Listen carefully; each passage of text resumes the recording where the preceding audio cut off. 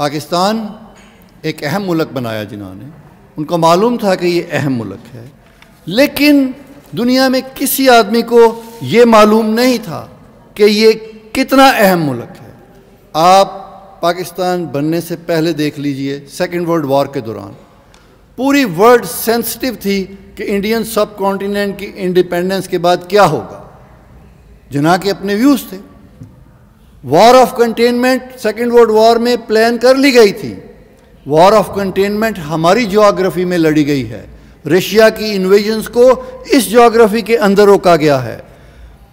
जो ideological invasions हैं, उसका हमें सामना करना पड़ा है। जो इंडियन एग्रेशंस हैं, हमें सामना करना पड़ा है। हम इफ़ेक्ट हुए हैं चाइना और इंडिया की लड़ाई से। हम इफ़ेक्ट होते हैं जो वर्ल्ड का फ्लैश पॉइंट है कश्मीर। वो हमारी शाहराग है। ये कितना अहम मुल्क है कि दुनिया ऑयल वर्ल्ड से हम इफ़ेक्ट होते हैं। जो अरब और ईरान का डिस्प्यूट है, उसमें हमारा एक किरदार होता है। एक एरा ऑफ़ डीटांट है। डीटांट के एरा में हमारा एक कंस्ट्रक्टिव रोल है। यूएसएसआर की अफगान वॉर्स के अंदर हमारा कलीदी किरदार है।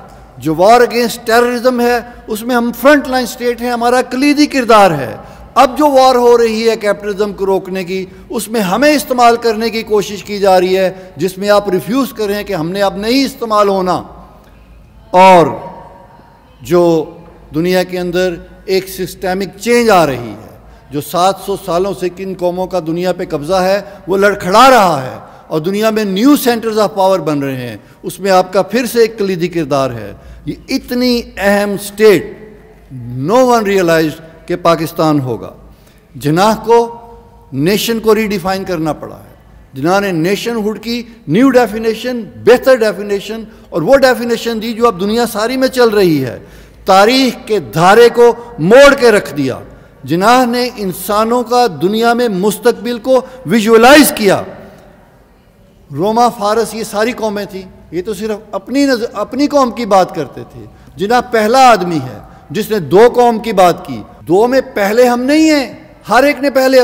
दो में जिना ने कहा कि आप एक कौम है, हम भी एक कौम है, जिसका एक मतलब ये हुआ कि इंडिया भी होगा, पाकिस्तान भी होगा, मगर यहाँ तक महदूद नहीं है। इसका एक मतलब ये है कि एक इंडिया एक कौम है, नेपाल भी एक कौम है, इंडिया एक मुल्क है, श्रीलंका को भी हक है कि वो अपना मुल्क हो। जो भी कौमें हैं, उनको अपना हक है। उसने तो पूरी दुनिया के लिए एक नज़रिया दिया है। पहले नज़रिया ये था कि रोमन्स आएँगे, सारी दुनिया को फतह करेंगे। जूश नज़रिया ये था कि जूश फतह करेंगे।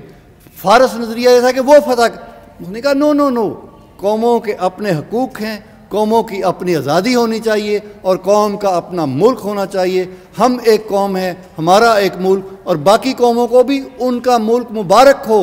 ये किसी की, इंसानों के ऊपर, इंसानों की हकूमत को हम नहीं मानते।